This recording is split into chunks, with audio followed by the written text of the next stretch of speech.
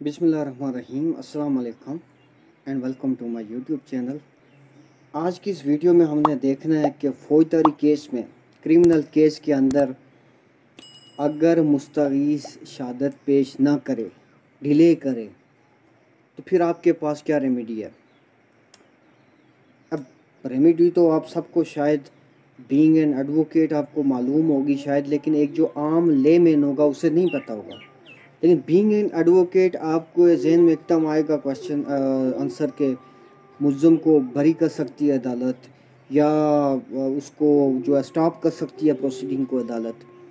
तो यहाँ पर आपको पता होना चाहिए, ये तो आपकी चीज़ को, आपको शायद इल्म हो, लेकिन कानून क्या कहता है? यानी इसमें कोई हमारी सुप्रीम कोर्ट का कोई फैसला भी मौजूद है? That is an important question आपको फिंगर टिप्स में पता होना चाहिए कि इसमें हमारी अदालतों का क्या जो है वो उनके फैसला जाते हैं, क्या ख्याल हैं? अली अदालतों के तो सबसे पहले आपको पता होना चाहिए, जब फौजदारी मुकदमा, कोई होता है एफ़ आई आर लॉज होती है, इन्वेस्टिगेशन होती है, चलान पेश होता है, चलान पेश होने के बाद जो है वो, यानी जिसे हम इस्तफसार अव्वल भी कहते हैं फ़र्स्ट जो चार्ज फ्रेम होता है जब तो उसके बाद शहादत का प्रोसेस शहादत का अमल शुरू हो जाता है। मुस्तैस मुकदमा जो होता है, जिसने एफ़ आई आर दर्ज करवाई होती है, लॉज करवाई होती है, उसकी ड्यूटी होती है कि जो गवाहान होते हैं, उनको फर्दन फर्दन जो चलान में लिखे होते हैं गवाहान, आई विटनेस जब्ती के गवाहान, फर्दर जो होते हैं मुख्तलफ़ गुहान की जो मुख्तलिफ़ उसमें एक होती है, एक कैफियत होती है, उस हिसाब से गुहान भी होते हैं मुख्तलिफ़, शायद दस हों, पंद्रह हों, बीस हूँ। तो कोई जब्ती का गवाह हो गया, कोई चशमदीद गवाह हो गया उस वकूए का इंसिडेंट का। तो अब उन गवाहान को मुस्तैस ने पेश करना होता है। अक्सर मैंने देखा है प्रैक्टिस के अंदर के क्या करता है मुस्तैस क्या करता है कि केस अगर देखता है मेरा केस वीक है तो वो गवाहान को पेश ही नहीं करता। वो डिले करता रहता है डिले टैक्टिक्स और मौके लेता रहता है, उसकी कौंसल भी। तो अब इससे निपटने के लिए हमारी सुप्रीम कोर्ट ने भी सख्ती से जो है, वो उसमें सुप्रीम कोर्ट का फैसला भी मौजूद है। पहले तो ये था कि दो सौ उनचास के तहत प्रोसीडिंग भी स्टॉप हो सकती थी इवन